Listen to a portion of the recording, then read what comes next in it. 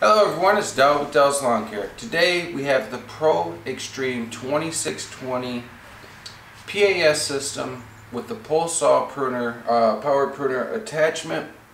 Um, I think Echo is a UAG member. They sent this for a review.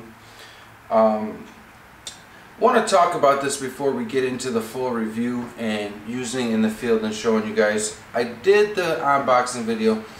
It starts very easily one thing I noticed here is on the handle is it turns a little freely here if you leave it loose. No, this is coming very handy um, when pruning trees because you don't always have a straight angle.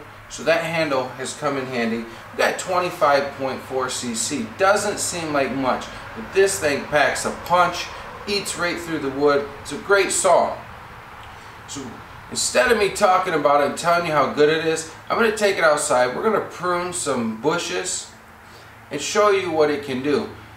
This saw has come in handy because when you have it on the trailer and you pull up to a customer's, you notice a tree is broke, you know, this time of year in Michigan, the cold weather, the higher winds, we get trees that just break. I can go up there, cut it, throw it in the truck, and a customer doesn't have to worry about it. it gives an extra service that I give for that customer service.